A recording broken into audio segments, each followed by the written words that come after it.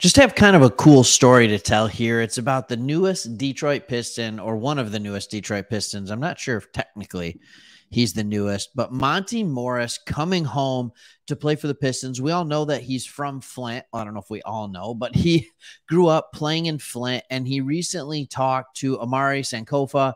And this was just an awesome interview and how he found out he was going and all that kind of stuff. So, what we're going to do in this video is I'm going to tell you about how um, he responded to be here, what that's what he is going to look like, and what his play is going to provide for the Pistons, and even for furthermore, what it's going to provide for the community. So that's what we're going to talk about in this video.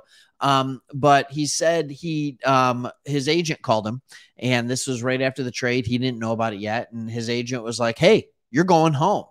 And Morris uh, was like, "Hey, what do you mean, man?" And he said, "You got traded to the Pistons."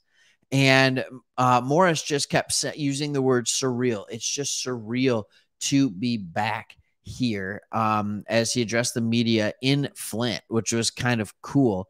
Um, in fact, before he was even drafted, uh, and I think it was 2017, he was drafted by the Nuggets. He said that it would be a dream of his and he'd love the opportunity where the red, white, and blue um, of the Pistons jersey. And now here we are a little bit later and it's there. And this is some of the stuff that he said. And I want to give Sankofa the credit for this because he did the interview.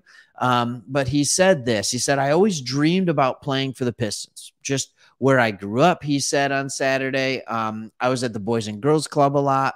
We would get a lot of Pistons gear. And I remember when Chauncey, Ben, Tayshaun, and Rip came down uh, he said it was like 2003. He was eight years old. He was running around the Boys and Girls Club, and I know what it feels like. What it feels like to be a Piston. I used to watch the games and the nosebleeds in the Palace, and the pride of just being a Piston. I know what it feels like. So what he's saying is, no, of course he doesn't know what it is like to be a Detroit Piston on the court but he grew up a Piston fan. And I think many of us can relate to him in that manner. I think we all kind of feel like Pistons.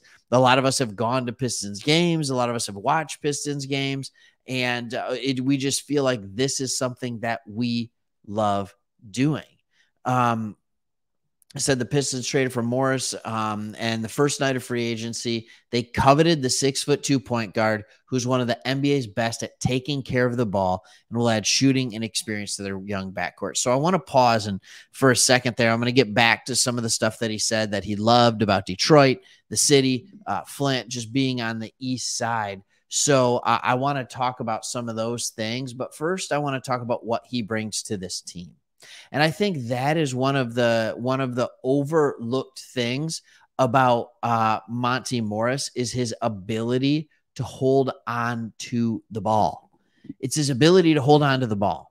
And he's done this no matter where he has played, whether it's in Denver for the first five years of his career or in Washington last year. So he has averaged um, five, last year, let's just go last year when he was on Washington, because you can say, all right, let's take out the really good teams with the Denver Nuggets and things like that. Last year in Washington, he averaged 5.3 assists. Okay. But he only turned the ball over one time. That's a 5.3 to 1 assist to turnover ratio. Nobody on the Pistons was even close to that. In fact, I would say the biggest thing that is a thing that Cade Cunningham has to work on, Jaden Ivey has to work on, these guys that are our primary ball handlers, the biggest thing they have to work on is ball control, holding on to the ball, not letting it go.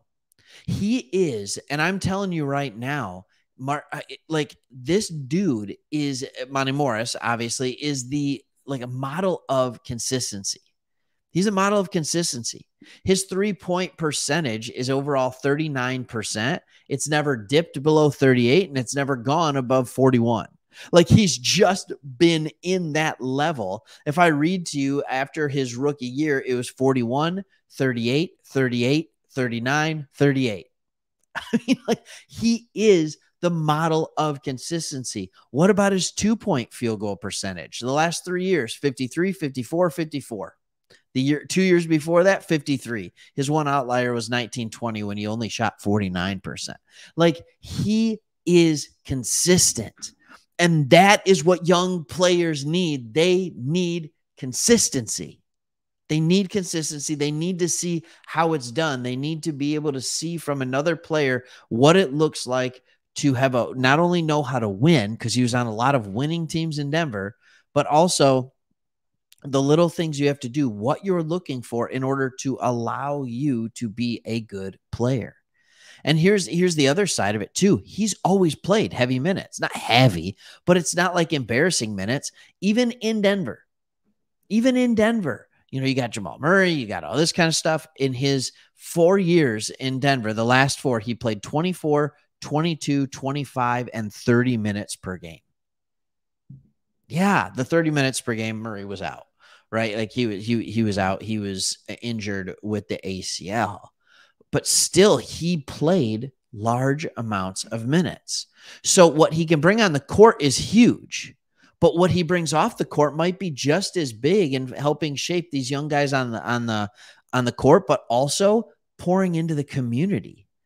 He said, I'm always big on giving back. As, I've gotten older, the youth right here is what matters. When I was younger, Mateen, Cleaves, Charlie Bell, and Mo Pete, and those guys, they was always doing that, and you couldn't wait to go to their camps at Flint Northwestern and stuff like that. I feel like it's my term my turn to step into that role, and I am ready to do it. All right. So this is kind of perfect, isn't it? Isn't it perfect? We're all talking about how, you know, is Killian the guy? Probably not. So what do we replace him with? We replace him with a guy who's not that old, not that old. Can be 28 this year, right? He's not that old. He's consistent. He is the exact thing that young people need. But then he knows his responsibility goes deeper than the court. When asked about why he wants to do this, why he wants to take questions from young fans and all this kind of stuff, he said, For one, this is my city. You have a guy coming back that loves this area, Flint and Detroit. Secondly, I'm a Detroit Piston. And anything I can do to impact the youth and impact the community, the community needs this. And we're going to keep doing more like this, keep the community together and shine the light on it. We got a lot of negative publicity, a lot. It's on me, and I'm going to take pride in it all year and just do stuff to do around here and just get back that juju back going here, going around here. It's easier now to do it that I'm 45 minutes away. I'm right here. He knows his responsibility. He knows his responsibility on the court. He knows his responsibility off the court. How excited are you? Is the question for this signing. I know it seems small, but how nice is it going to be to have a guard coming off the bench that it's not like, ugh, Cory Joseph is in, right? Or oh, Killian Hayes, how is he going to mess this up? Like it's it's nice to have a guy who's going to be consistent off the bench that's going to help you win games not a guy where it's like, well, if Cory Joseph has a good night, or man, this, I know he's playing pretty well, but this shouldn't be the answer, right? And it's not like you're waiting for Killian to develop. It's like, no, this is a guy. He's going to come off the bench. He's going to help you win games. Period. Done. All right. I hope you liked the video. Uh, hit that subscribe button, and we'll see you in the next one.